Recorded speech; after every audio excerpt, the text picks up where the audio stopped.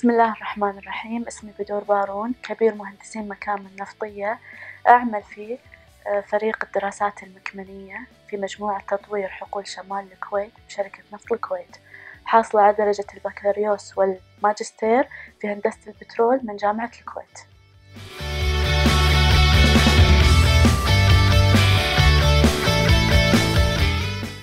التحقت في برنامج تدريبي مع شركة شل العالمية وهو OJT وهو عبارة عن العمل مع الشركات النفطية العالمية خارج دولة الكويت اللي يهدف إلى كسب مهارات ومعرفة آه، اللي بالتالي نقدر نستخدمها في تطوير العمل للمهندس الكويتي داخل شركة نفط الكويت اللي يؤدي بالتالي إلى زيادة الإنتاج.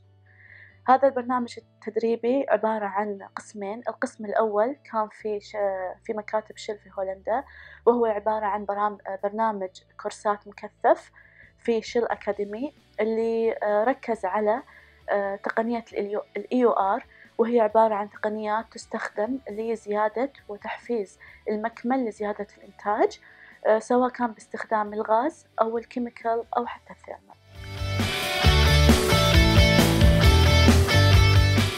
الجزء الثاني من برنامج تدريبي كان مع الشل في مكتبهم في هيوستن في ولاية تكساس بالولايات المتحدة الأمريكية.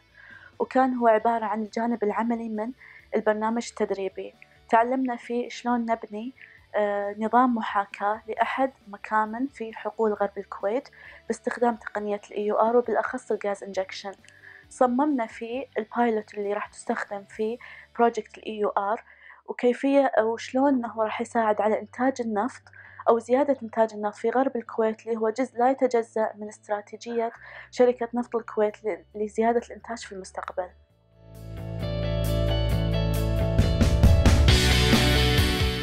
رجعت الكويت من البرنامج التدريبي طبقت المهارات والخبرات اللي اكتسبتها خلال ال OJT وبذلك مسكت آه، مشاريع حيوية ومهمة في شركة نفط الكويت اللي أهمها بالنسبة لشمال الكويت هي project EOR في ال North Kuwait. وهو عبارة عن استخدام آه، ال chemical آه، لتحفيز وزيادة الإنتاج بمكامن شمال الكويت. طبعا هالمشروع يساعد في تحقيق أهداف شركة نفط الكويت بزيادة الإنتاج.